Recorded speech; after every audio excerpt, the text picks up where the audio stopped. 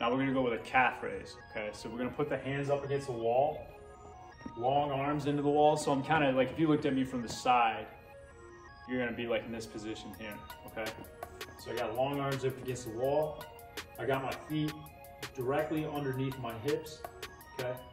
I'm gonna fall back just a little bit more. From there, what I'm gonna do is I'm just gonna push through my big toe and get the heels off the ground as much as I can as I push into the floor, and then I come back down under control.